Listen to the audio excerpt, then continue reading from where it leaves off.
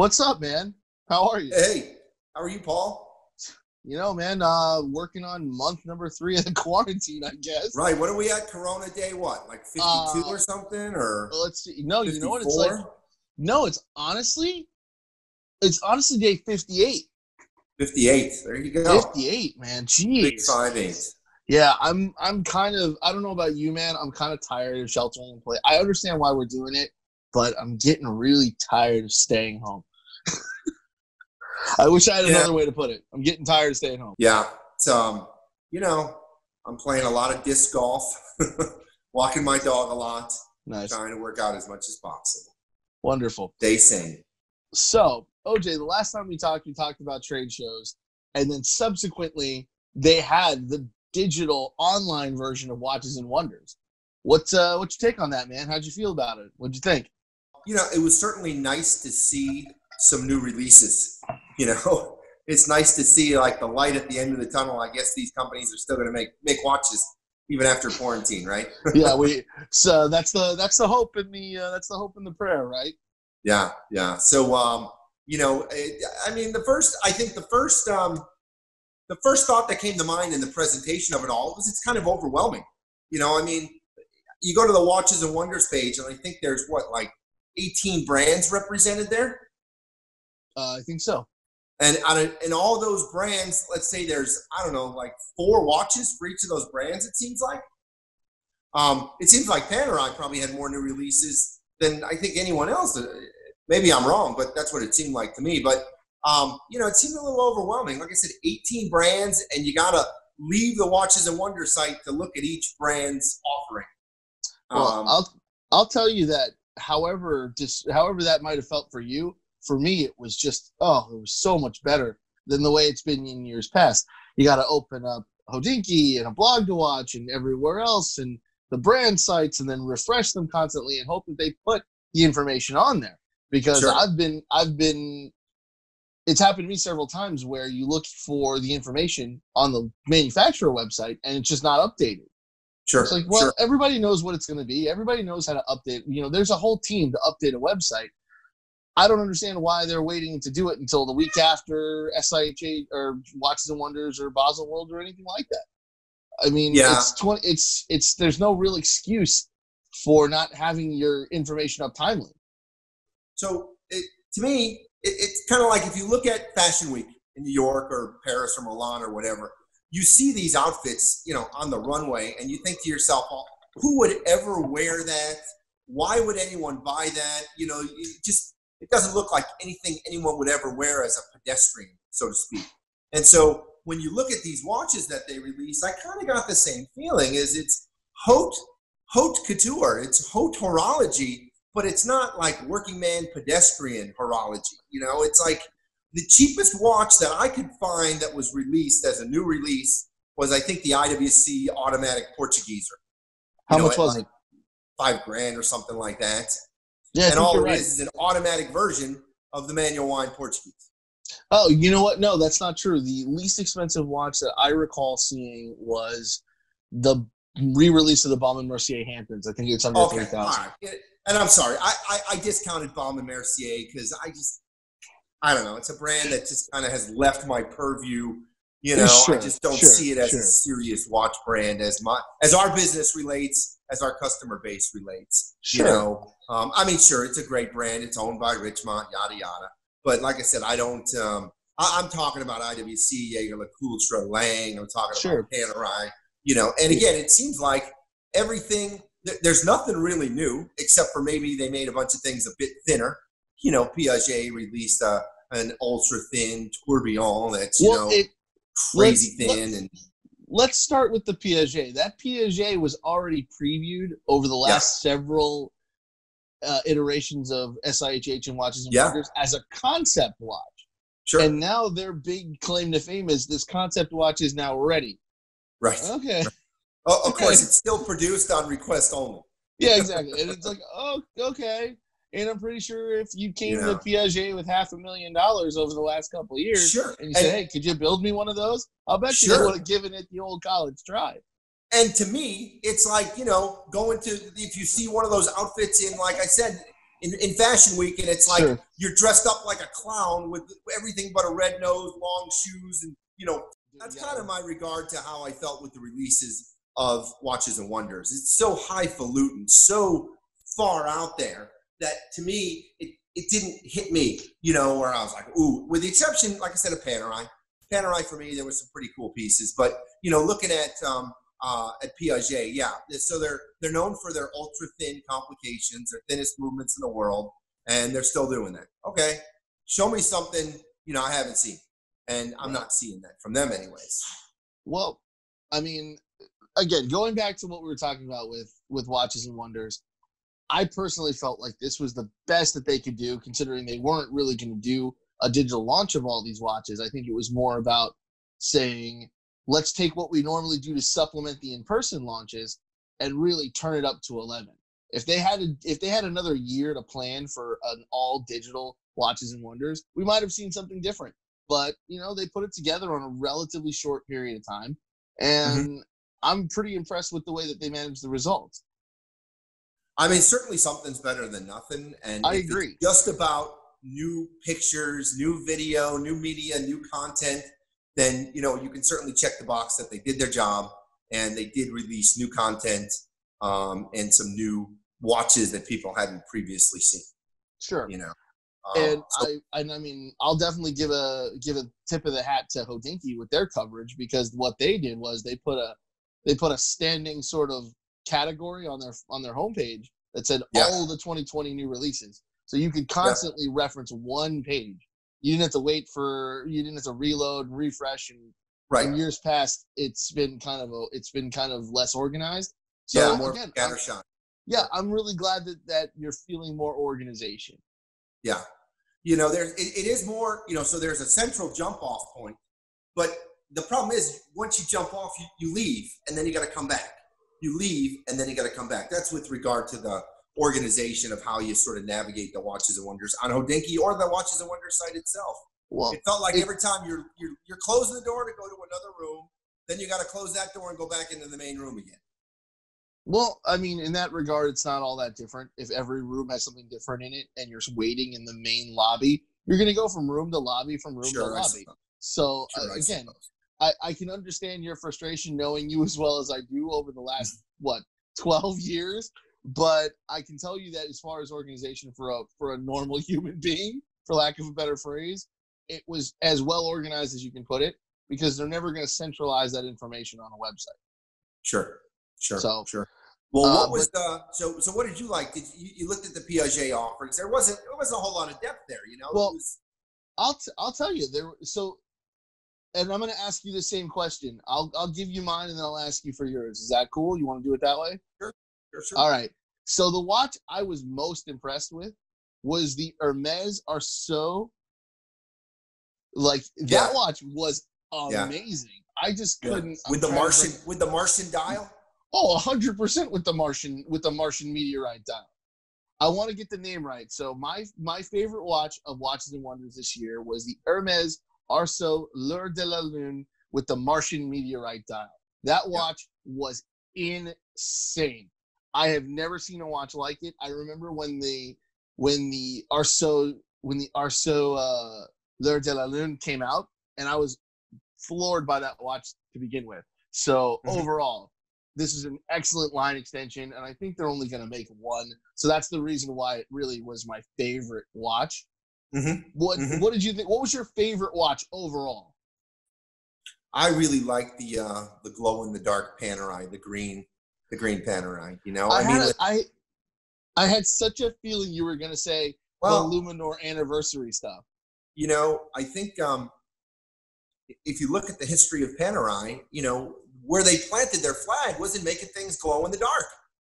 Agreed. And for the past 25 years, they've never really talked about that. I mean, yeah, their watches glow, their watches have great luminous luminosity, you know, but but that that green one kind of brings uh, brings it to a new level in my opinion. Is it- so I was is- really impressed with that. is it lumin? Is it luminosity or luminescence?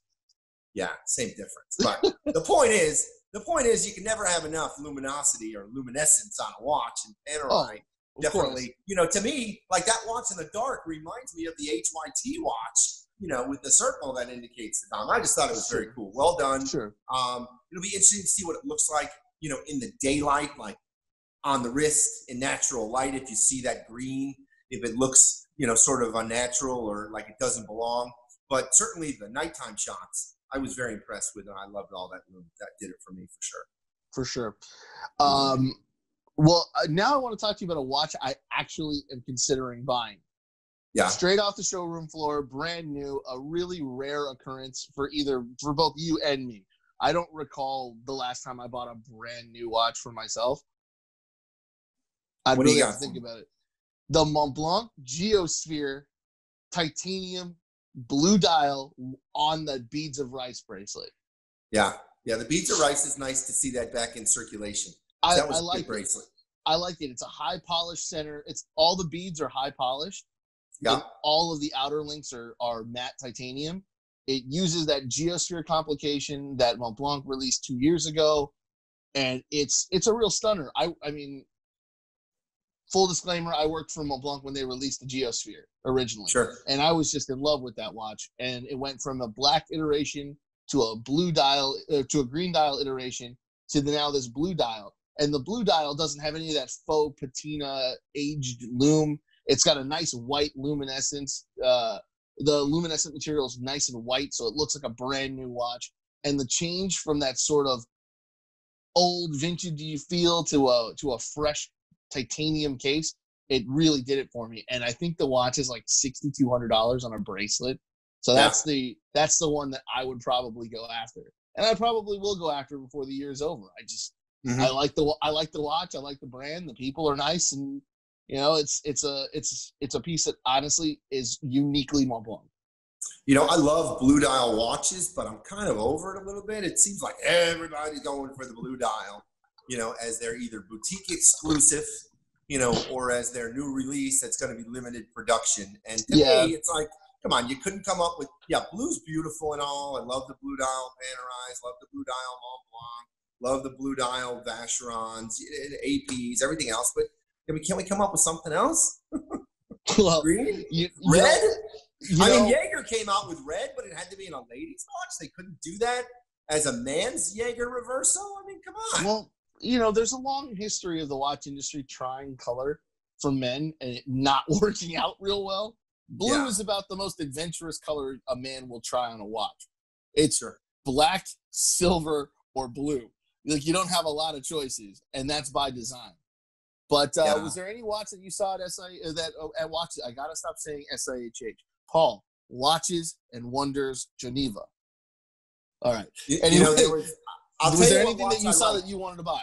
a brand that I have been very intrigued by for the past oh I- I actually had one of these is is Rebellion. Rebellion watches. Yeah. They they you know what I've always liked that. They they had a watch that I bought about maybe 6 years ago and it was a chronograph and the thing about that watch was you could hit a button and the chronograph would disappear or maybe it was a GMT gosh I, it was like 6 years ago but it was a rebellion watch and you could make you could like I don't remember what it was if you turned the crown or what it was either the numbers or the gmts or maybe it was just the full chronograph function just disappeared. I'm gonna have to find a reference to it but so i've always been a fan of rebellion. I think it's a cool brand and i think their bruno senna was a pretty cool special edition. And Sure. um, i you know what?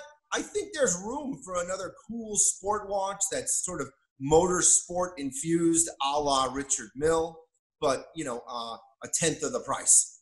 Sure. the average watch. Well, you know it's, all skeletonized lots of vibrant colors cool Well- um, i don't know what you call the, the the face and the pieces on the face but just really cool. I mean you could feel like the the construction of that of that dial and it's like skeletal sort of sure. I, I liked it it's worth mentioning to all of our to all of our friends and and family and and viewers watching at home that even if it was a tenth of the price of a Richard Mille, it would still be an absurdly expensive watch. yeah there's still there's still 10 grand but um, you know i mean show. like I said, I was all- trying to find a watch all- that was released for Watch and Wonders under ten grand, and it, you're hard pressed to do it, man. I'm gonna, You know, I'm you gonna look at need you to. First of all, on top of that, I'm gonna need you to find me a brand new Richard Mille with a sticker of ten thousand dollars or a hundred thousand dollars. A hundred thousand? yeah, I don't think there is one anymore. Yeah, probably not. Probably But, not. um, but my point is, if you said, you know, you the one watch you found, the least expensive watch probably that was released was that one that you were talking about. Yeah, You know, the which Mont Blanc, and everything Well- else starts at like twelve thousand dollars, even if it's steel. It seems like. well, that's something interesting that I wanted to go back to. There's there's a watch that I'm really really rooting for to do well, and we touched on the brand earlier today, and it was the least expensive release at Watches and Wonders Geneva, and that's the Baume Mercier Small Seconds, Hampton Sure. Small Seconds. The Baume Mercier Hampton Small Seconds is my pick for the watch that I'm really hoping is successful, because yeah, I mean, the Hampton was the uh, that was their take on the Tank Francais, essentially. well, But essentially. it was never big enough. Well, essentially, the Hampton was always going to be their kind of flagship model when they were really feeling that whole like beachside aesthetic a few years ago, and then it was like the the the, the shaped case versus a round case, because I feel like for a long time the reason that people like you have, have written off Baume and Mercier is because they went from a brand that tried new things to a brand that all that also did something. Oh, we also make a round watch. We also have a, uh this complication. We also have a, a rotating bezel, and it and it went from a real brand that was unique and interesting to a brand that became essentially also ran. Yeah, you know, my um, I fell in love with the uh, the original Common Mercier Capeland, the GMT alarm. That was Oh, one of my favorite one. watches. I mean, that was the Panerai Radiomir Alarm GMT uh, movement. That was that Girard-Perregaux Traveler 2 movement.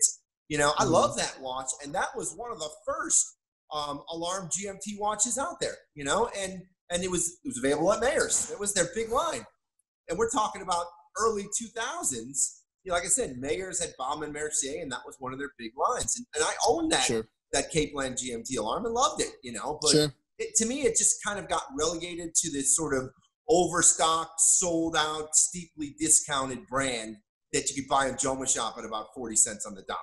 Sure. I mean, That's listen, what and Mercier became for me over the past decade plus. I'll always have a soft spot in my heart for the Capeland diver Yeah. that they made with the with Oh, the Kevlar with the Kevlar dial, the all titanium case. And that, And that- textalium dial or whatever it Yeah. was, that carbon fiber dial. yeah, it, it was it was Kevlar the dial. Was That was a yeah, it was amazing, and they had like the textile strap with the yellow. Yeah, the ballistic NATO strap. love cool. I love that watch. That watch is that watch is the only watch I ever regretted selling. and was one of the first watches to show that sort of contrasting fluorescent colored hour markers. Remember, they were like orange. They were I, I remember them being very very bright. Yeah, yeah. And you didn't But- see that in watch. And this, mind you, this is a watch that came out 2005. 2005, you didn't see those really bright numbers. No, and in 2005, at 42 millimeter grade five titanium case, it was a big watch. It Yeah. was a lot of watch in 2005. But Yeah. um, yeah, And I think- I think that's what Watches and Wonders this year is missing. You didn't see anything that you said, "Wow, that's cool." Everything seemed to be, you know, like I said, a reproduction of something they made last year or the year before, or something they've Sure. been fiddling around with and Well- you saw, you know, glimpses of, and now here it is available for purchase. well. I'll t- I'll tell you that in general, when you look at sort of the Swiss watchmaking timeline, you see a banner year, an evolution year, and then like a tweaking year. Then it's another banner year. And I would a- argue that, Sure. and I would argue that the last banner year in Swiss watchmaking was 2017. So this is sort of the end of that tweak, of that Mm-hmm. cycle, is what I think.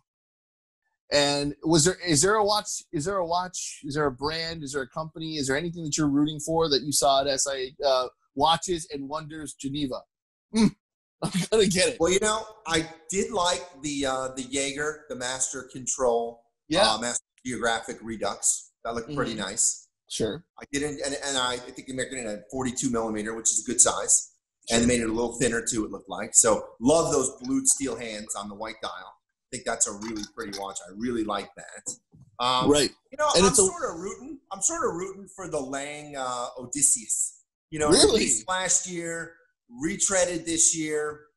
I don't know, but you know, they're you know they've got they're like a one horse pony. You know, everything looks like a Lang one or a Datograph. you know. And so this is something totally different.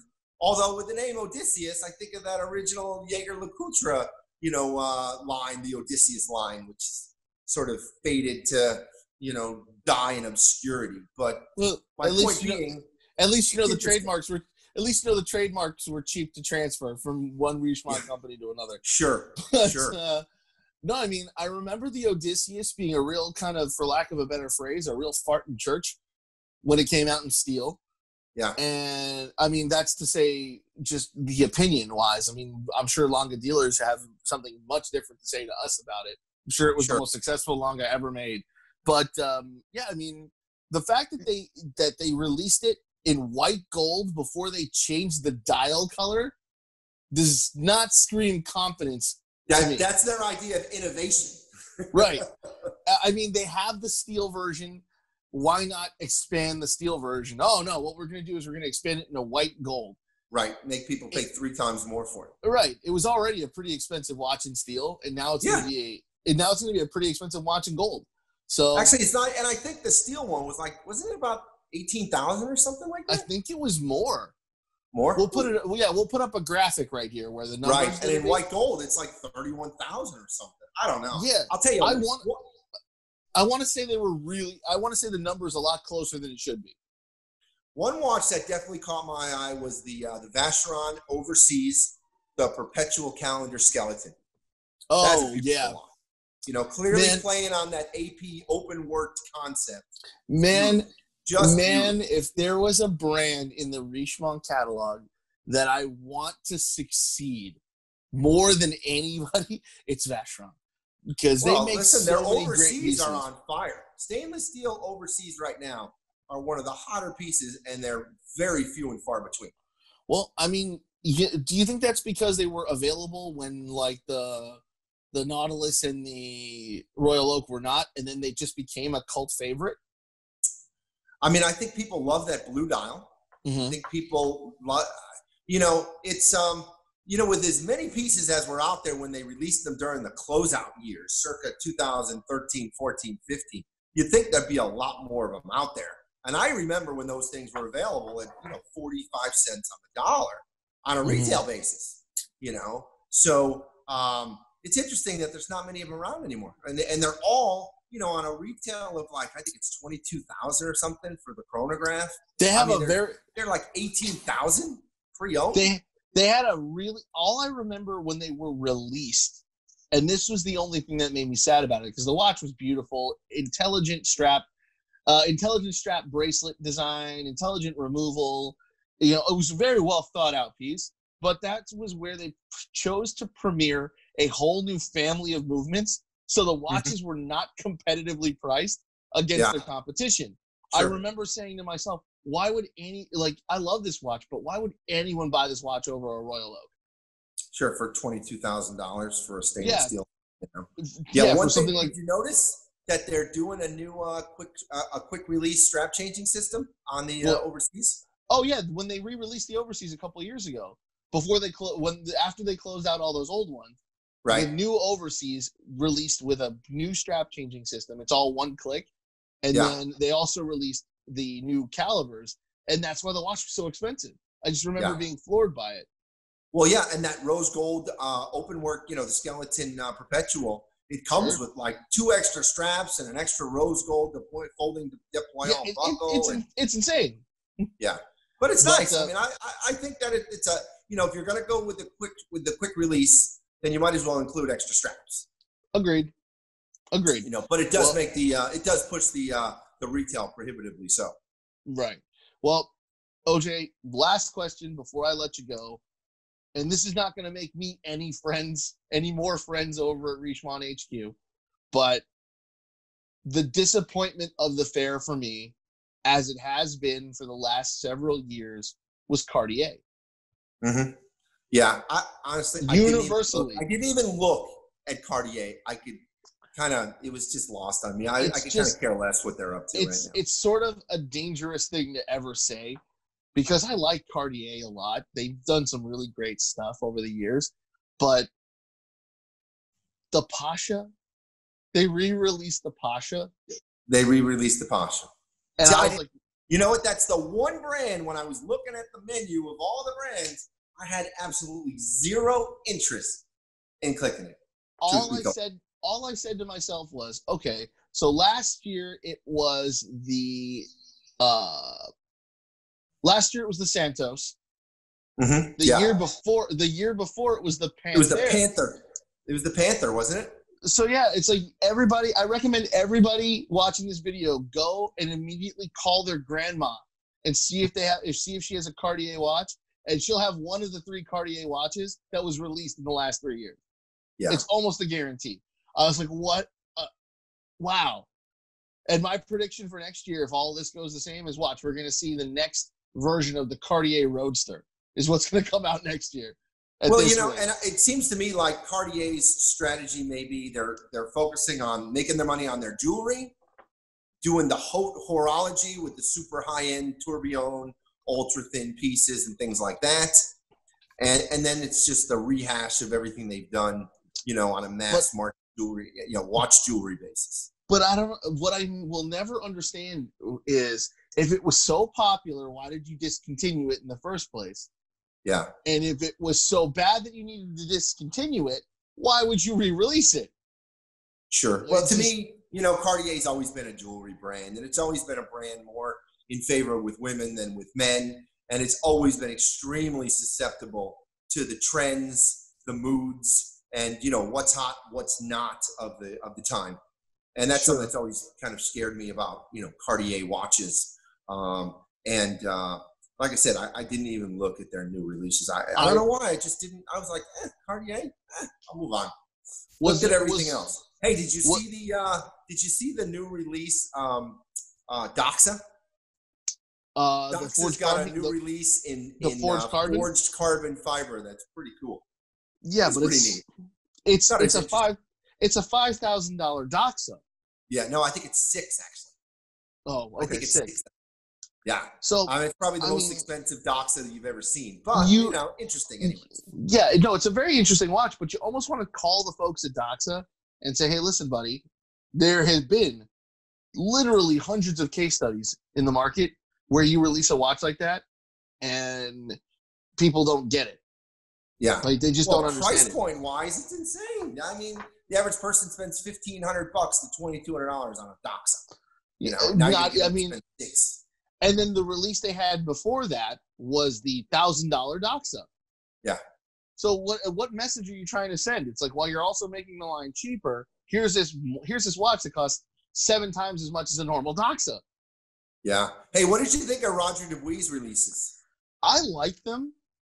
I well, I always like Roger Dubuis' releases. I think they're always yeah. so interesting. They're visually kind of they're always visually very stunning, and they speak to the sort of the artist in all of us.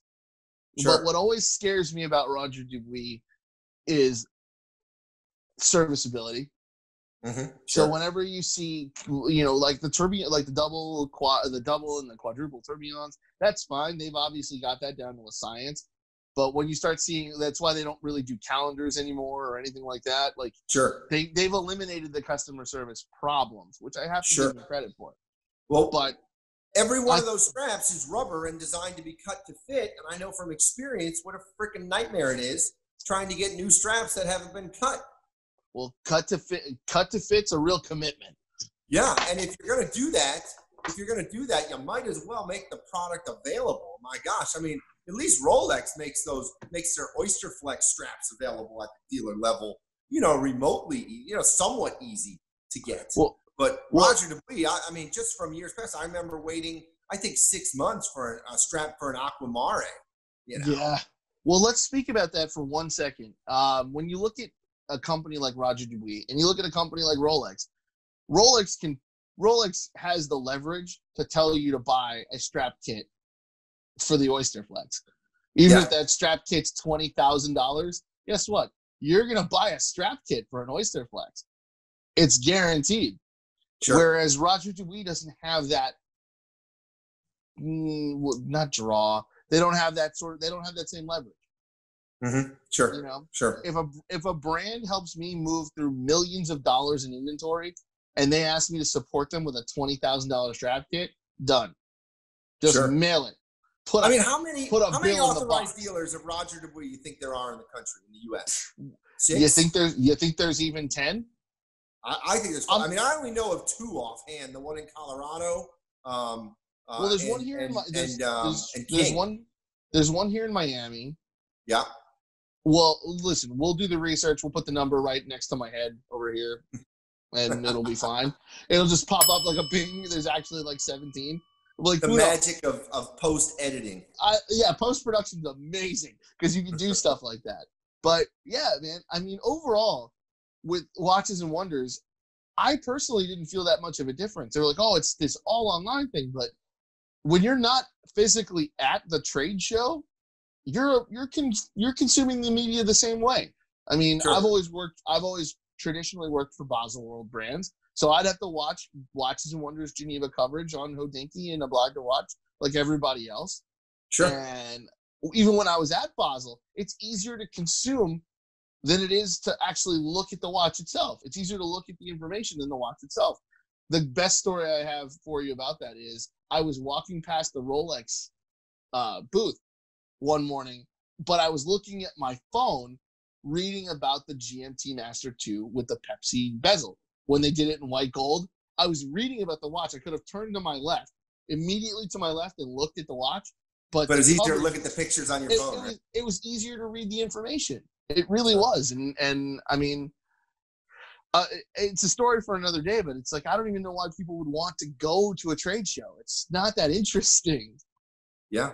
Well, I think that's uh, sort of a sign of the times, you know, as we talked previously, that uh, you don't need to do it anymore. You don't need to do it, just like you don't need to go into offices to work anymore.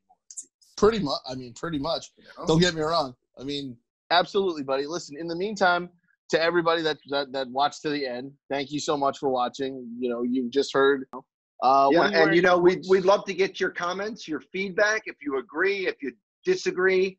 You know, we'd For love sure. to be your primary distraction. So Yeah, if there's sure. uh, anything that we can do for you, you can feel free to call us. You can feel free to hit us up on uh, on Facebook or on Instagram or on any of our social media channels. But you know, we'd love to share our passion for watches, love to share our experience, and love to talk about you know predictions and uh, what we see for the future. Absolutely.